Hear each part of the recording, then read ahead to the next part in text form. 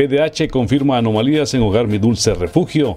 Este martes, tanto la auxiliar del Procurador de los Derechos Humanos, quien iba acompañada de un grupo de trabajadores de esa institución, se presentaron a la Casa Hogar Mi Dulce Refugio y luego de hacer unas entrevistas a los ancianitos y personal que labora ahí, corroboró que la denuncia interpuesta por un ancianito el recién pasado lunes tiene fundamento y quizás hasta de sobra ya que muchos indicaron ser víctimas de malos tratos, tanto físicos como psicológicos.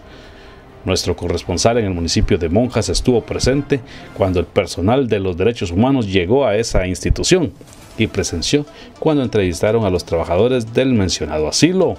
Constataron que se encuentran nueve trabajadores y 43 ancianitos, los cuales dieron testimonio parecido a la denuncia interpuesta.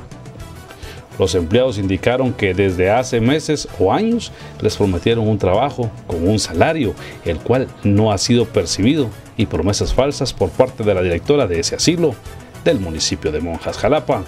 Al entrar a la bodega a la cual tienen prohibido ingresar, observaron que sí hay algunos productos de los cuales han sido donados, sin embargo, estos no pueden ser utilizados sin previa autorización de la directora.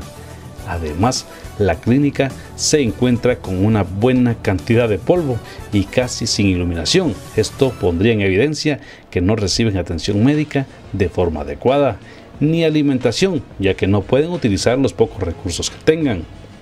Lo peor aún o insólito fue cuando el auxiliar del procurador pidió ver los expedientes de los ancianitos, a los que la señora Gilma Corado, directora de dicho asilo, respondió que no estaban actualizados y que debía pedirlos por escrito, dejando en evidencia que no les importa estar violando los derechos de las personas e instituciones. Para los T21, los Chapines y el mundo, notijalapa.net.